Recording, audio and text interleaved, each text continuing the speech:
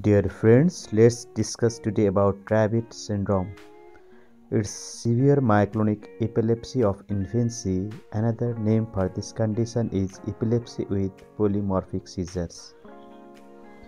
The causes of Dravet syndromes are is a mutation in SCN1A gene that is sodium channel gene. You can see in the picture there are different types of mutations like nonsense, missense, frame shift, and deletion mutation that occur in this gene that result the Dravet syndrome.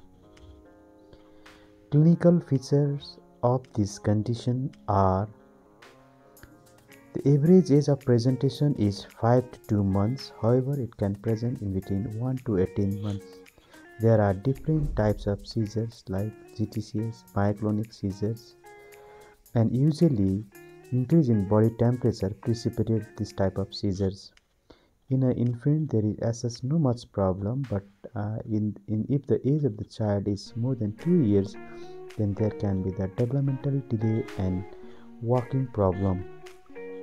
If we do the EEG of this group of patients, Usually in the infant, the EEG is normal, whereas we can see the background slowing in older children.